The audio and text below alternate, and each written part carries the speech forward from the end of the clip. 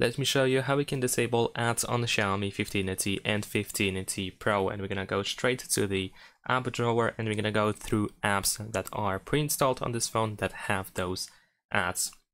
So the first app that we're gonna go to is the downloads app.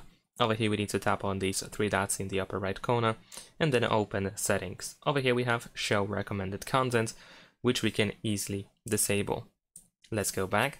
Over here now we are looking for more apps and we have for example the MI browser. In here if you actually use the MI browser then you want to go to your profile over here, tap on this person icon and then on this gear icon in the upper right corner to open settings. Now I believe over here we need to go to advanced. There we go, we have ads which we can disable.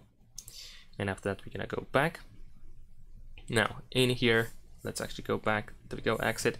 In here we can also open the let me actually try to find it the mi video which i actually don't have and this might be region dependent. So i'm gonna go back into that in a second and i'm gonna change my region just in a second to see if that's the case.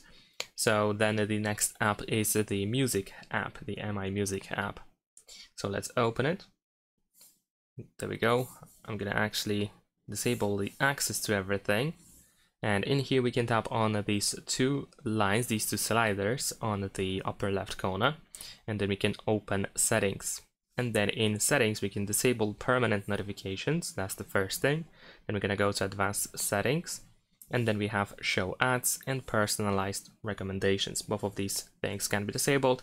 And if you actually do not use this app at all, if you don't plan on using this app, then you can just simply withdraw your consent. So then we will revoke the authorization and the app will be closed. And that should do the trick as well. Then we can go to security app. So let's open it. There we go. We're gonna tap on the setting icon. We can disable recommendations. Then we can go to cleaner and we can uh, disable recommendations in here as well. So these two options can be disabled. And after that, we can go to the themes app.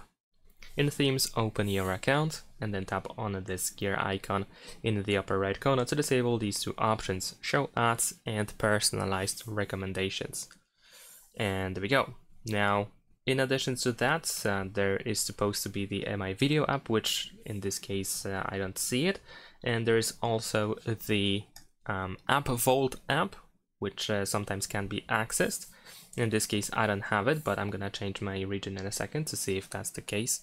Uh, but in the case of App Vault, you are looking for three dots where you can find the uh, Manage Services option, and there are usually mm, there's an option or options for ads that can be disabled as well. There is also the App Mall app in some regions at least, and unfortunately in this case it seems that we cannot really turn off ads. I couldn't find the option that would allow us to get rid of the apps so in this case unfortunately we have to stay with them.